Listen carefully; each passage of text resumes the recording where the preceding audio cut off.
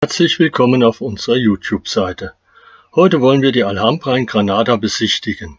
Mich interessiert besonders, welche Auswirkungen die Rückeroberung katholischer Heere auf Andalusien gehabt hat. Die ursprünglich christliche Bevölkerung kam im 7. Jahrhundert unter die Herrschaft der Mauren. Ab dem 9. Jahrhundert drangen katholische Kämpfer im Norden Spaniens immer weiter vor und eroberten Gebiete für die Kirche zurück. Anders als die Mauren ließen sie kein Stein auf dem anderen. In Andalusien existierten Kalifate und christliche Königreiche parallel. Der Alhambra ist so ein Zeugnis.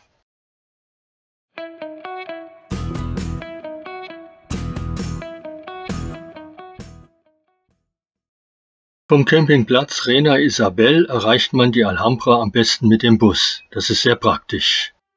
Wer Granada nicht gesehen hat, hat gar nichts gesehen. So lautet ein alter Spruch, wie wahr.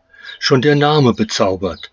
Granada klingt nach arabischen Nächten, erinnert an den Duft von Mandel- und Orangenblüten und lässt von Märchen aus Tausend und einer Nacht träumen. Hauptsehenswürdigkeit ist der Alhambra, die Rote Burg. Inbegriff maurischer Baukunst, Höhepunkt und Endpunkt islamischer Kultur in Spanien.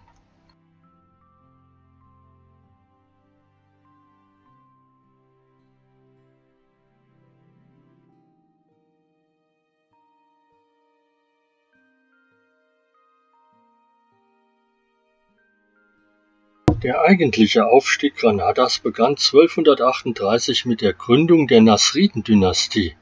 Das 30.000 Quadratkilometer große und knapp 40.000 Einwohner zählende Königreich erlebte nun als Lehen der christlichen Herrscher eine knapp 260 Jahre währende Blütezeit. Die Handelsverbindungen übers Mittelmeer wurden weiter gepflegt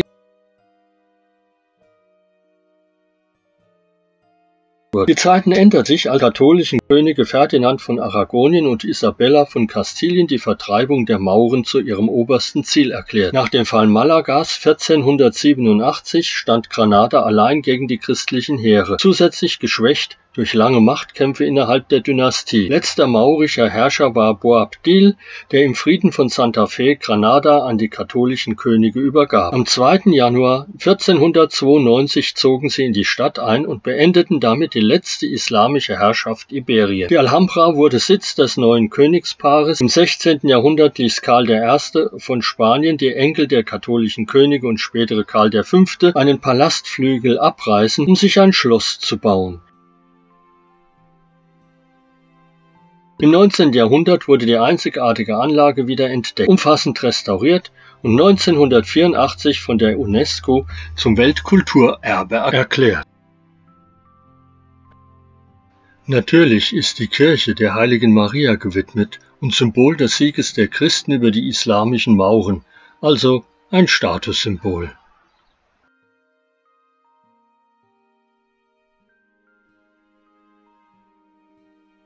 Blick über das weite Land.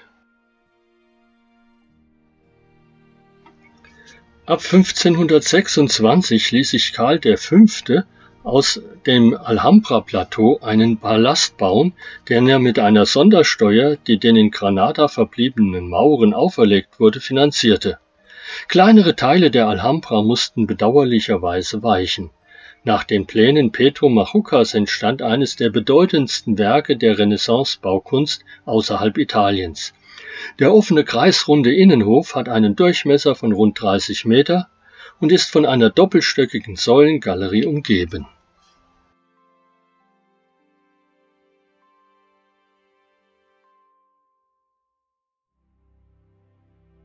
Vom Palast aus haben wir einen wunderbaren Blick auf die Alcazaba mit ihren Befestigungsanlagen und Wehrtürmen. Der Palast der Nasriden ist ein Kernstück der Alhambra. Arkaden und Arabesken, Stalaktitenkuppeln, Hufeisenbögen, Schmuckbänder aus Keramik und Stuck. Blüten und Blätter verwelken sich an den Wänden mit Sternen, mit geometrischen Mustern, mit arabischen Schriftzügen, die Allah loben und preisen. Zapfengebilde scheinen aus den Gewölben zu tropfen, in den Wasserbecken spiegeln sich Türme und Bögen. Die Grenzen verschwimmen. Fast spielerisch erscheint einem die islamische Baukunst. Was ist Traum, was ist Wirklichkeit? Der Palastbezirk der Nasriden ist ein steingewordener Traum, das schönste Zeugnis islamischer Architektur auf europäischem Boden. Der Hof des ehemaligen Gerichtsgebäudes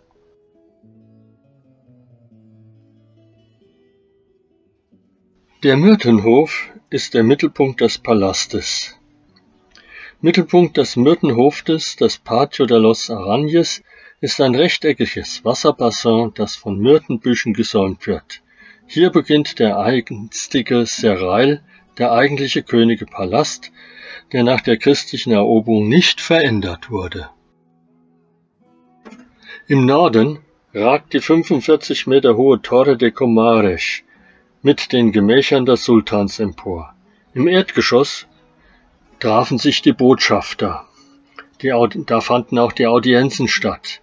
Dank seiner fantastischen Zeternholzkuppel und der Ornamentik aus über 150 verschiedenen floralen und geometrischen Mustern sowie Koranversen gehört der Raum zu den reichsten der Alhambra.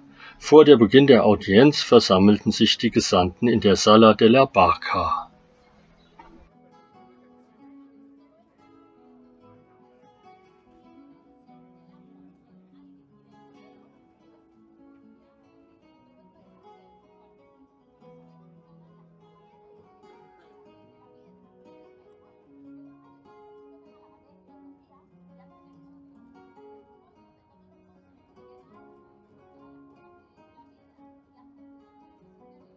Der Patio de los Leones, der Löwenhof, Mittelpunkt des Harems, zeigt sich in ganz anderer Gestalt als der Myrtenhof. Namensgeber sind zierliche Löwenskulpturen um einen Brunnen in der Hofmitte. Fast schwerelos kommt der den Hof umlaufende Wald von 124 fragilen Marmorsäulen daher. Zitat, kein Teil des Gebäudes gibt uns eine vollkommenere Idee von der ursprünglichen Schönheit und Pracht als dieser, notierte Washington Irving.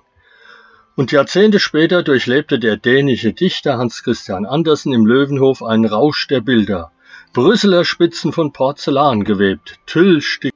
Die Sala de las dos Hermanas, Saal der zwei Schwestern an der Nordseite des Löwenhofs war zusammen mit den dahinterliegenden Räumen wahrscheinlich die Winterwohnung der Frauen.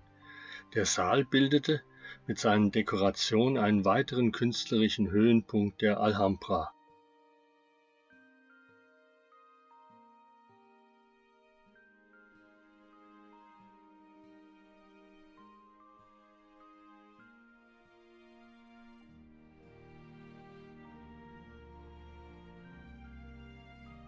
An der Ostseite des Löwenhofs liegt die langgestreckte Sala de los Reyes, Saal der Könige, auch Sala de la Justicia genannt.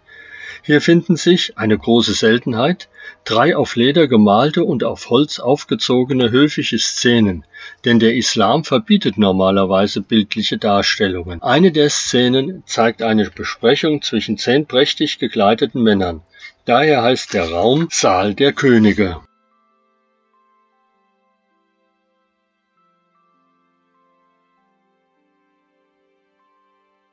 Der Patio, also ein innerer Garten, der von außen nicht zugänglich